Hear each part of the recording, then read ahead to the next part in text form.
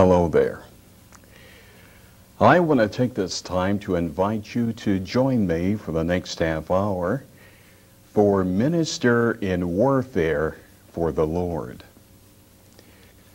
The title of my sermon, What You Secretly Do Late at Night. Would you be embarrassed and ashamed to be seen doing it in the light of day? You know, there's something that each and every one of us has encountered, regardless of what your social or economic status may be in life. Each of us at one time in our life have become aware of their existence and unfortunately have been in their presence. And their existence can be dated back as far as 350 million years. And the being that I'm referring to is the common cockroach. And this little flat-bodied insect, whose length is anywhere from one-fourth of an inch to three inches long, is nocturnal in nature. In other words, it loves the nightlife because it's very active and it reaches its highest level of functioning during the nighttime. And yet, when they unexpectedly make their appearance known unto you, and especially late at night, it can create feeling of consternation on your part. Now, a classic example would be when you get out of bed early in the morning around 2 or 3 a.m and you walk barefooted to the kitchen to get a glass of water, and suddenly you feel something under your foot. And as you feel that sensation, you also hear a crunching sound. And then when you turn on the lights and you look under your foot, you discover the squashed carcass of a cockroach that you had accidentally killed when you stepped on it only moments before. And then you begin to get that yucky and unpleasant feeling. And as you walk toward the kitchen table to get a napkin to wipe your foot off with, and then you look toward the table and you see what appears to be a relative of the cockroach that you had just killed. For it was scampering down the table. And as it raced across the kitchen floor, it disappeared into a small hole that heretofore you didn't know existed. Then, as you looked back at the table, you saw that apple pie that your wife had cooked for you that evening, but you had left unwrapped. And suddenly you had no appetite for any apple pie in the foreseeable future. And although the cockroach's portion of the apple pie may have been very minute, you were steadfast determined not to share any of your apple pie or food with any cockroach. Now, this unfortunate incident had conjured up within you feelings not only of disgust, but it also was accompanied by a very mild case of nausea. And scientists tell us that whether we want to admit it or not, or whether we know it or not, these unwanted neighbors are never totally out of our presence.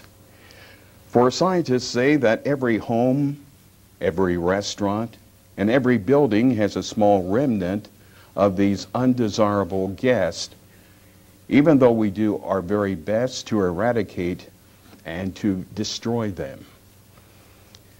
And even though these cockroaches have a way of arousing disgust and anger toward them, whenever they come unexpectedly into our presence, but that feeling of anger and disgust toward them is pale in comparison to the extreme dislike and aversion that develops when one is confronted with a five or six foot human version of the despised cockroach. But unlike the cockroach, whose mode of operation centers chiefly around a high intensity of activities being accomplished under the shroud of darkness and night, The human version of the cockroach is more dangerous and deceitful because he possesses a trait that enables him to blend into any group and environment without arousing any suspicion concerning his or her hidden agenda. This person is like the American chameleon, a lizard who has the ability to change his skin color rapidly to blend into the environment that it's in. But the human version of this chameleon is even more treacherous, for it has the ability to change its personality in the twinkling of an eye. If that will further its aims and goals and to achieve it, now that person will use any device or take any action in order to conceal his main objective. And in so doing, he will mislead you and he'll deceive you in order to accomplish that. And Jesus Christ had a name for these individuals, and he referred to them as hypocrites. He referred to them as hypocrites because they were two faced individuals, because their lives were filled with deceitfulness and hypocrisy. For Jesus said that these people honor him with their lips, but their heart was far from him. But their actions will not go unnoticed by the all seeing eyes of God. And therefore, there are no secrets hidden from God. For Jesus tells us in the 12th chapter of St. Luke and the second and third verses the time is coming when everything will be revealed. All that is secret will be made public. Whatever you have said in the dark will be heard in the light. And what you have whispered behind closed doors will be shouted from the housetops for all to hear. And it's very important that you realize the importance of not mocking God with your actions. For in the sixth chapter of Galatians and the seventh and eighth verses, we are warned Be not deceived, God is not mocked. For whatsoever a man soweth, that shall he also reap. For he that soweth to his flesh shall of the flesh reap corruption. But he that soweth to the Spirit shall of the Spirit reap life everlasting. And to be the object of God's wrath is something you don't want to experience. For if there is anything to fear in life, it would be to be the recipient of God's punishment. For Jesus tells us in the 12th chapter of St. Luke in the fourth and fifth verses, Dear friends, don't be afraid of those who want to kill you. They can only kill the body. They cannot do any more to you. But I'll tell you whom you should fear. Fear God, who has the power to kill people and then throw them into hell. But why is it that people continue to live in sin when the consequences of sin is presented to them? For in the fourth chapter of St. James, in the 17th verse, we are told, Remember, it is sin to know what you ought to do and then not do it. And of course, we know that the wages of sin is death, which means a spiritual death, an eternal banishment from the very presence of God. Then, knowing these facts, why do so many people choose eternal damnation over eternal salvation with God? For God sent a light into the world, a light that would show them the way to God. And that light was God's Son, Jesus Christ. But many, many people reject that light. And in rejecting the light of Jesus Christ, they damn their souls to hell. Well, the reason they chose this path to follow is revealed to us in the third chapter of St. John and the 16th through the 21st verse. For God so loved the world that he gave his only Son, so that everyone who believes in him will not perish but have eternal life. God did not send his Son into the world to condemn it, but to save it. There is no judgment awaiting those who trust him, but those who do not trust him have already been judged for not believing in the only Son of God. Their judgment is based on this fact. The light from heaven came into the world, but they loved the darkness more than the light, for their actions were evil. They hate the light because they want to sin in the darkness. They stay away from the light for fear their sins will be exposed and they will be punished. But those who do what is right come to the light gladly, so everyone can see that they are doing what God wants.